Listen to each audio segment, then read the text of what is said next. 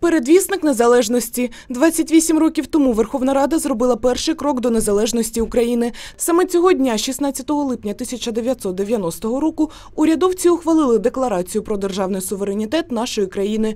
У преамбулі документа проголошувалося верховенство, самостійність, повнота і неподільність влади республіки в межах її території та незалежність і рівноправність у зовнішніх зносинах. Верховна Рада також проголосила право країни на власні збройні сили. Щоправда, пообіцяла не поширювати, не виготовляти і не нарощувати ядерну зброю. Проте цей документ не одержав статусу конституційного акту. Україна залишалася у складі СРСР, тому міжнародні організації та країни світу не визнали її державну незалежність. Причина відсутність у Верховній Раді Української Радянської Соціалістичної Республіки повноважень на ухвалення рішення про вихід республіки зі складу Радянського Союзу, тобто на проголошення незалежності Української РСР. Відповідно до вимог Конституції СРСР і Української РСР, тільки народ Української РСР мав право ухвалювати таке рішення на референдумі. Втім, декларація стала основою для акта проголошення незалежності України, яку Верховна Рада ухвалила 24 серпня 1991 року. Тоді фактично вдруге Україну проголосили незалежною демократичною державою.